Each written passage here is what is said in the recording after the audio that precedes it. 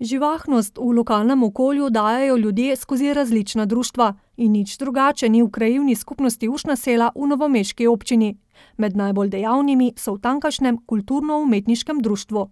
V sklopu Kulturno-umetniškega društva Uršna sela deluje tri sekcije, in sicer vokalna skupina Kronce, Mali umetniki ter pa skupina Urše, to je skupina za starejše. vokalna skupina Kronce deluje že osemnajsto leto in združuje v bistvu ženske oziroma dame, ki jih, veseli petje, druženje in smeh. Smo v bistvu nepogrešljive na vseh, prireditvah in druženjih v naši krajevni skupnosti. Nastopamo pa tudi v tujini, vsako leto organiziramo pozdrav pomladi ter že tradicionalni božično-novoletni koncert, na katerem so se nam v zadnjih letih pridružili tudi mali umetniki.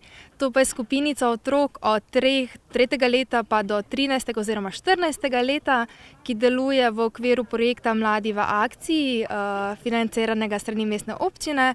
na Uršni seli delujemo že četrto leto in moram reči, da je projekt zelo uspešen, saj se, število otrok iz leta v leto povečuje.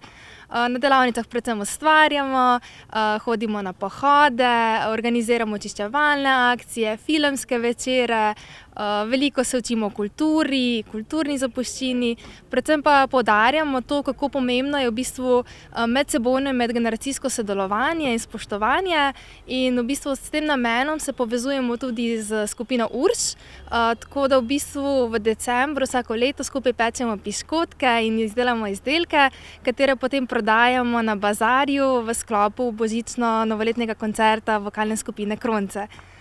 zdaj naša želja je, da bi se še razširili, da bi ustanovili še eno mladinsko skupino in na tak način v bistvu, postavili neke temelje za neki medgeneracijski center.